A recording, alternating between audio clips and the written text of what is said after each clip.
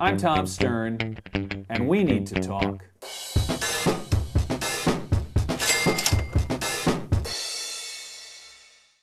Hi, I'm Tom Stern, and we need to talk.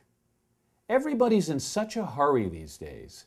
It seems like we've been conditioned to believe that we've got to keep moving, got to keep hustling, got to keep climbing to the top. It's a zero sum game, and if we don't move up, we'll fall to the back of the pack. And if that happens, we'll become losers, invisible, obsolete.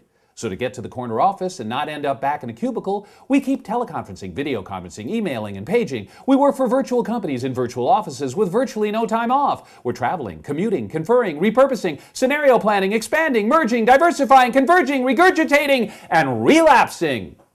Our organizations are vertical, yet horizontal, with a 360 degree review cycle. We protect inside information while thinking outside the box. When we hire, we won't put a square peg in a round hole, but we might round off our numbers to square our books. People will get counseled, others will get canceled. When we're downsizing, we'll be on the up and up, but we'll always manage the short term and the long term, even if our CEO is doing a prison term. I have a theory, by the way.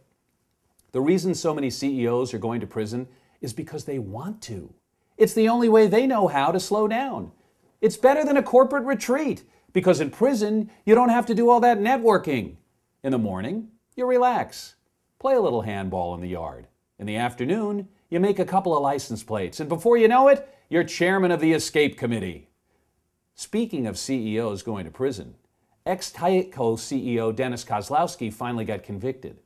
That guy's life is like a MasterCard commercial. Gold umbrella stand, $15,000. Party for your wife, $2 million. The look on your face when you got 25 years, priceless. Well, there you have it. I hope I've given you something to chew on and spit out.